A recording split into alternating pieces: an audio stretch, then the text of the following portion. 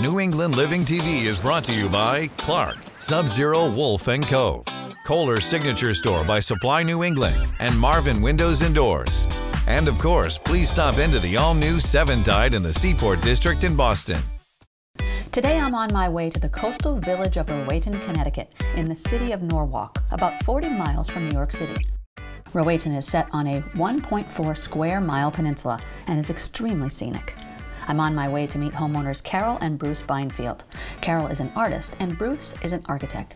Bruce's firm, Beinfield Architecture, has won dozens and dozens of design awards, and Bruce was named to the New England Design Hall of Fame. The 3,500 square foot home, which is located on Farm Creek, a tidal estuary, is definitely one of a kind, deriving its design from the amusement park and trolleyway that was located there up until the 1938 hurricane in World War II.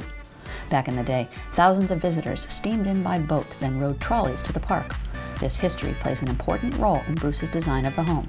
It is the first home he has ever designed for himself, and he considers it one of his favorite projects. We're going to meet the homeowners, take a tour of this unique home, and then Bruce and Carol are turning their state-of-the-art kitchen over to a chef and me, and we're going to put on a dinner party and celebrate New England living in Rowayton, Connecticut. That is beyond words. Oh, that is barnwood. Hello. Hello. Hi. You must be Bruce. Yes, Parker. Nice to see Hi, you. I'm Carol. Hi, Carol. Nice, to see you. Oh my goodness. The Thank you. spot is incredible. This was an old trolleyway originally built in 1892 to get trolley service from the South Norwalk train station to an amusement park out on Long Island Sound a couple hundred yards from here. And uh, with the design of this house, we tried to pick up on some of the uh, history of the site. What do their neighbors think? I mean, it's it's it's uh, it's a little different. Most of them are very appreciative of it because there hadn't been a structure here before and it had been fairly natural. There were a lot of people that were concerned about their views being impacted. Right. So you were respectful about So that. the so the front of the house facing the street's only 12 and a half feet wide. Yeah, I know it's, it's very narrow. So So- 12 and a half feet. That way it gives them the opportunity to still uh, look out over the tidal estuary. This first area that you're in is the entryway and the stairway. Because it's such a skinny house, Yes. We wanted to surprise them with the amount of drama it has and encourage people to really walk around and, and explore. Okay, because that's exactly what I was feeling when I first walked in. Because this isn't your traditional foyer. This it, it's welcoming, and it's it it makes me. I mean, just thirst for looking at every detail.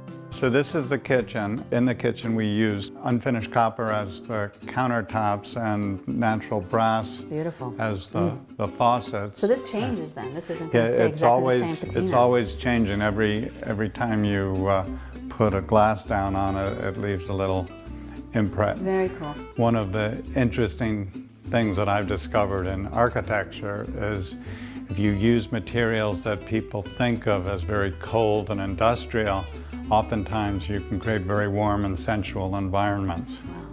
And now tell me about this island here. The base of the island is a French antique, and the top is a granite, so very durable. And so that that juxtaposition between that vintage, old world, and then new, and and and the We- textures yeah, of we wood and and metal. A, a balance.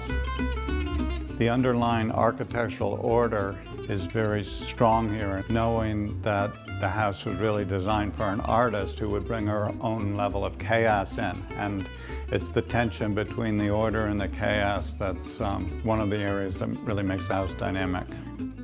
this feels very comfortable. This was all about comfort, actually. And this is a uh, restoration hardware couch called the Cloud. I was I was You'll, going you'll to see why they why I oh, call yeah. it that. Oh, yeah. Most people, once they get on the cloud, have a hard time Getting getting back off. up again.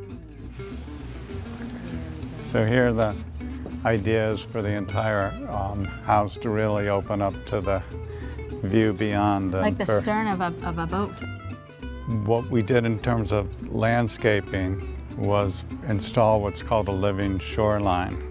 We added soil, then we plant native grasses. By doing a, living shoreline, the shoreline has the ability to be resilient to major storms. Plus, it looks nice. Yeah, Now the whole trestle thing, is that a little touch of whimsy or It's whimsy, remembering the uh, architecture of the amusement park and the trolleyway. It's also a source of wonder. so but- in some way you're, you're you're hoping that they wonder. Yeah. Yeah, it's cool.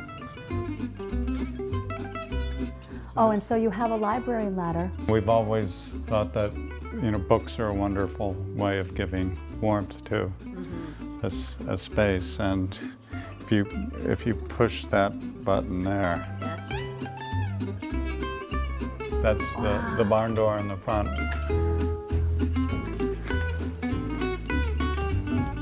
This has a nice view. This is uh, one of our guest bedrooms. This room we really wanted to take advantage of the view and keep it fairly simple. And so you're a big fan of rock and roll then? Is that what? Well, yeah, this is a rock and roll installation that uh, we put together. This is Jim Jim Morrison? Morrison. This is Jimi Hendrix, Hendrix. and this is me actually in 1955. Oh, that's you. okay, so you're stepping through the door with the doors. This is the master, and we really wanted to open up to the view here. And you did. But wow. So more outdoors inside. This is great. I want to do a speech from up here.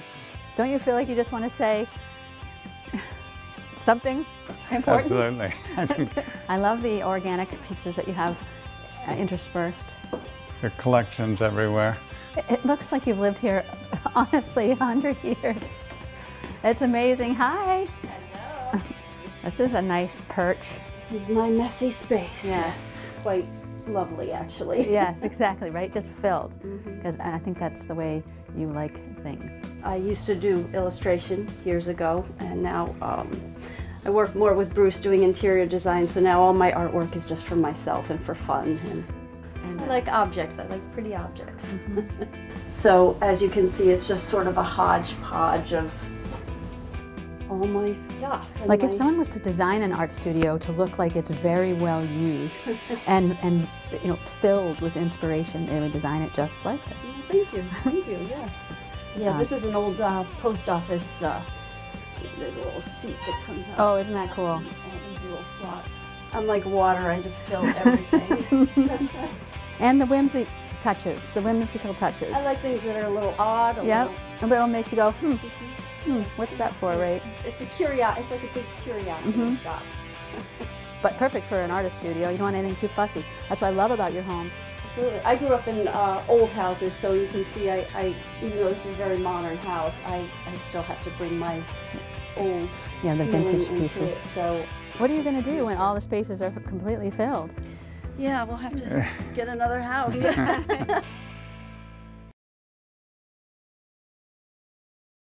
New England Living TV is brought to you by Clarke, Sub Zero Wolf Cove, Kohler Signature Store by Supply New England, and Marvin Windows and Doors.